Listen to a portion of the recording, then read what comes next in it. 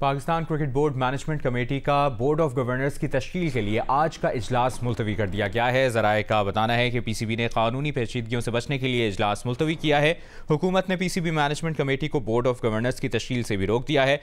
Lahore high court के फैसले के मुताबिक PCB election commissioner board of governors बनाएँगे। Pakistan cricket board management committee का बोर्ड ऑफ़ गवर्नर्स की तश्कील के लिए आज का इजलास मुलतवी कर दिया गया है और ज़राए की जानब से बताया गया है कि पी सी बी ने कानूनी पेचीदगियों से बचने के लिए इजलास को मुलतवी किया है।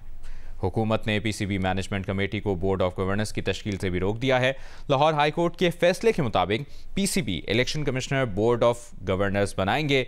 ये ज़राए की जानब से बताया गया है और आपको ये भी बताएँ जो आज का इजलास था, उसे मुलतवी कर दिया गया है पाकिस्तान क्रिकेट बोर्ड की जानब से कानूनी पेचीदगियों से बचने के लिए और हुकूमत ने P C B management committee को बोर्ड ऑफ़ गवर्नर्स की तश्कील से भी रोक दिया है। इसकी मजीद भी तफसील हासिल करने की कोशिश करें हम और आपको अब तक की जो डिटेल्स हैं उससे मुतल आगाह करें। Pakistan cricket board management committee ने बोर्ड ऑफ़ गवर्नर्स की तश्कील के लिए आज का इजलास मुलतवी कर दिया है। तफसील जानते हैं फैज़ान लाखानी से। जी फैज़ान, बताइए।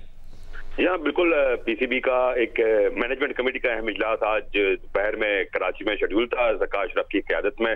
बट अब हमें इस बात की तस्दीक कर दी गई है कि इस इजलास को मुलतवी कर दिया गया है पोस्टपोन कर दिया गया है पीसीबी तर्जुमान ने इस बात की तस्दीक कर दी है कि इजलास को मुलतवी किया गया। तहम उनकी जानब से किसी ऑफिशियल रीजन को कंफर्म नहीं किया गया। लेकिन हमारे जराए ज़रूर ये बताते हैं कि लीगल कॉम्प्लिकेशन कुछ उस एजेंडे के पॉइंट्स के हवाले से पीसीबी का साम, पीसीबी को सामना करना पड़ता जिसमें मेजर जो एक इशू था वो बीओजी की फॉर्मेशन बोर्ड ऑफ़ गवर्नेंस की फॉर्मेशन और अगले इंतबात कराने के जो मामला थे उसके हवाले से कुछ लीगल कॉम्प्लिकेशन का सामना था। एक इस पर कोर्ट का ऑर्डर भी इसके हवाले से है और ये भी बताया जाता है कि हुकूमत पाकिस्तान आईपीसी ने पीसीबी के मैनेजमेंट कमेटी को फ़िलहाल बीओजी फॉर्म करने से रोका हुआ है और ये पावर्स बीओजी फॉर्म करने के जो पीसीबी का इलेक्शन कमिश्नर है, उनको ये दिए गए। तो अब पीसीबी की जो बीओजी फॉर्म होनी थी, आज की मैनेजमेंट कमेटी में जो मेजर एजेंडा था एजेंडा था, वो नहीं हो पा रहा। तो इस लीगल कॉम्प्लिकेशन की वजह से आज के इजलास को मुलतवी किया गया है। बहुत शुक्रिया आपका, फैजान लाखानी, आपने अपडेट किया।